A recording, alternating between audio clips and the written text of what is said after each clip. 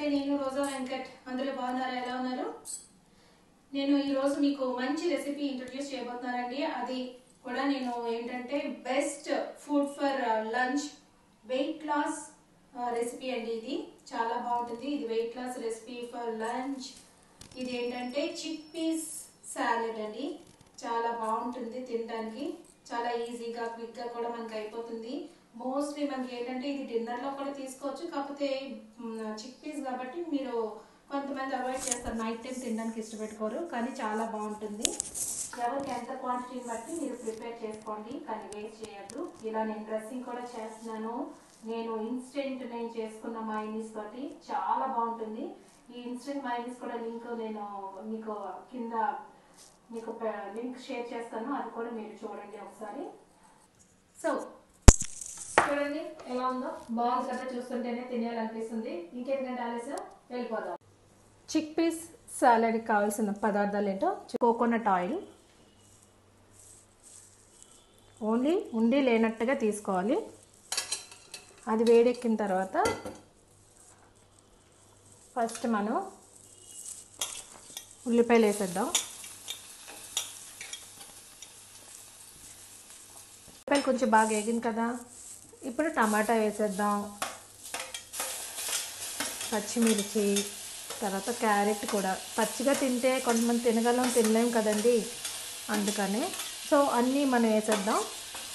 Just shallow fry మాత్రమే చేసుకోవాలి. ఎందుకంటే ఇందులో ఉన్న విటమిన్స్ అన్నీ మనకి పోతాయి కాబట్టి లైట్గా చేసుకుందాం.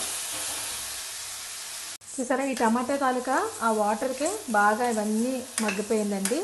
ఇప్పుడు ఇందులో మనం తగినంత సాల్ట్ వేసుకుందాం. లైట్గా.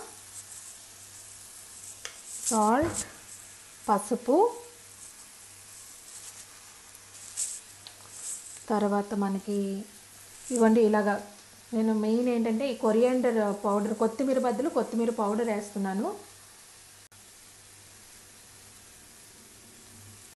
ఇప్పుడు జీరా పౌడర్ లైట్గా.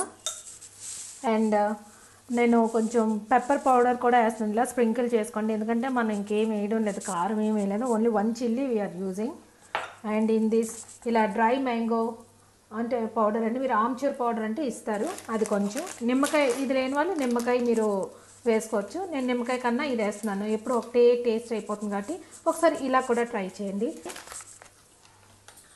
ఇప్పుడు ఇవన్నీ బాగా కలిపి ఇందులో మనం ఈ కాబూలీ చెన్న వేసేద్దాం. వేసి బాగా కలిపి ఒకసారి ఒక టూ మినిట్స్ ఉంచి దింపేసుకోవడమే. మన వెయిట్ లాస్కి చక్కటి సలాడ్ అయితే రెడీ అయిపోయిందండి. అది మీరు డిన్నర్ కానీ లేదు అని అంటే మీరు లంచ్కి కానీ తీసుకోవచ్చు. మెయిన్ ప్రిఫర్ చేయండి లంచ్కే. ఎందుకంటే డిన్నర్ అంటే మళ్ళీ బఠానీ కదా కొంతమందికి కడుపు పొంగుతుంది. సో మీరు లంచ్కి ప్రిఫర్ ప్రిఫర్ చేస్తే చాలా బాగుంటుంది.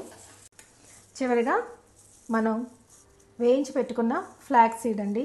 ఇది మెయిన్ ఇంగ్రీడియంట్ మన వెయిట్ లాస్కి అన్నీ అవే వేసాం. ఇది ఒక టేబుల్ స్పూన్ వేసుకొని చక్కగా స్ప్రింకిల్ చేసి బాగా కలిపేసుకొని సర్వ్ చేసుకోవడమే. నా ఈ రెసిపీ కనుక మీకు నచ్చినట్లయితే నా ఛానల్ సబ్స్క్రైబ్ చేయండి లైక్ చేయండి షేర్ చేయండి. Take care bye bye stay healthy Until then have a nice day signing off Roja Venkat